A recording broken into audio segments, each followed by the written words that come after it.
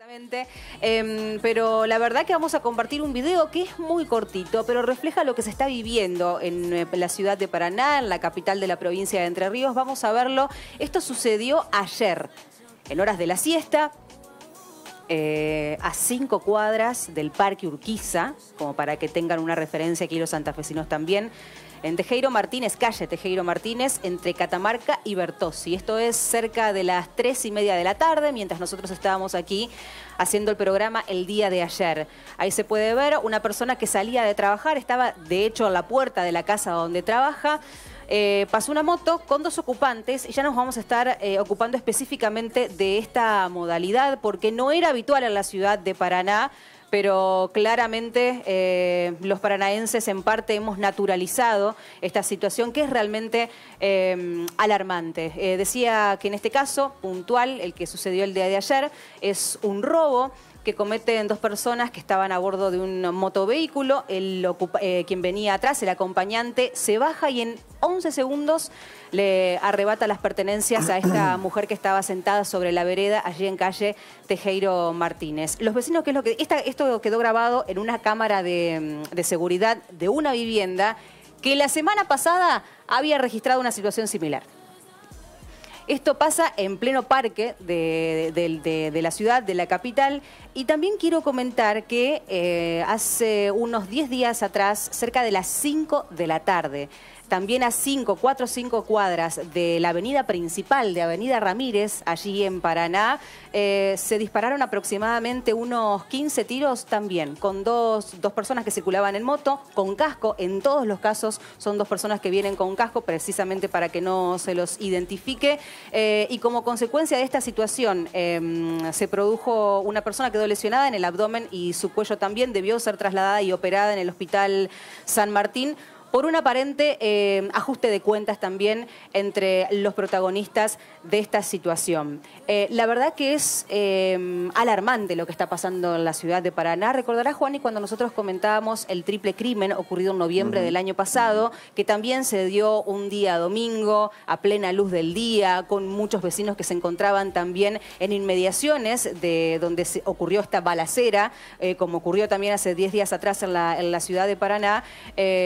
um, es nueva, es relativamente nueva para nosotros y la verdad que sería muy malo que nos acostumbremos y naturalicemos esta situación.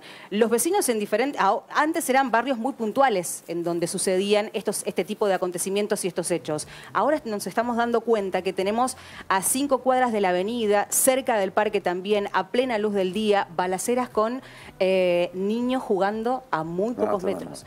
Los mismos vecinos hace algunas semanas atrás comentaban esta situación cuando ocurrió la balacera eh, que terminó con este joven de 20 años lesionado.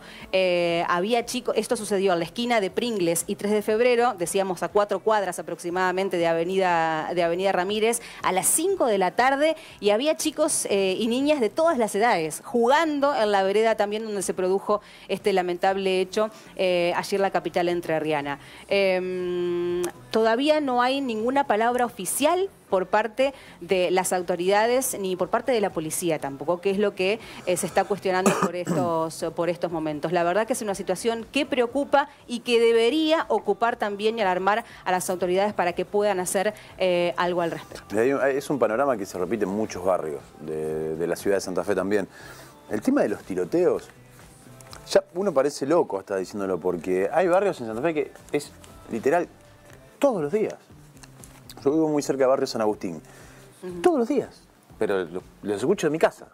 Todos los santos días, 7, 8 de la noche, disparo. Pero, pero literales todos los días. ¿eh? A veces bastante tiempo, a veces se, se, copan los muchachos un poco más, pero todos los días. Y no es nuevo, esto es de, hace varios años.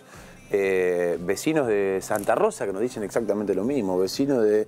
Bueno, Centenario ha tenido un par de episodios el año pasado sobre todo, tremendo, donde vecinos terminaban filmando cómo dos bandas se agarraban a tiros todos los días, literal, todos los días. Eh, donde, bueno, afortunadamente no termina en tragedia diaria, porque es afortunado.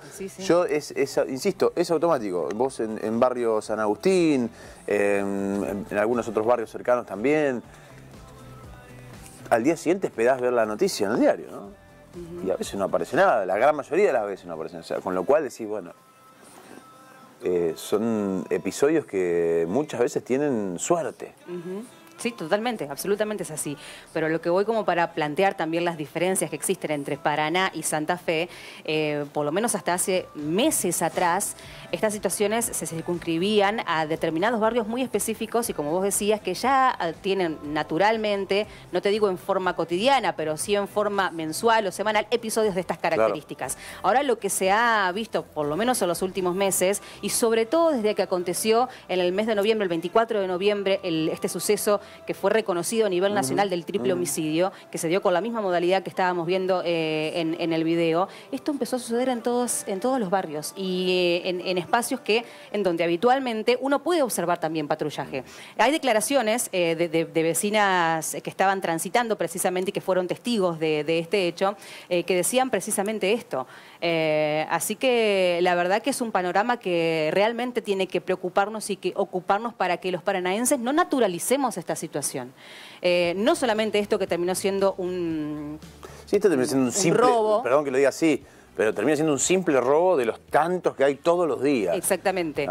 No, más que eso, porque no la, por suerte no hay una persona agredida, no hay una persona golpeada. Sí, obviamente, con, la impunidad que estamos viendo en, ese video, ¿no? Pero hay, episodios que terminan mucho peor. Y que después no sucede nada. Pero claro, el caso que no quedó registrado de, hace, de la semana pasada fue realmente algo que fue mucho más grave teniendo en cuenta que eh, a esa hora está lleno de gente.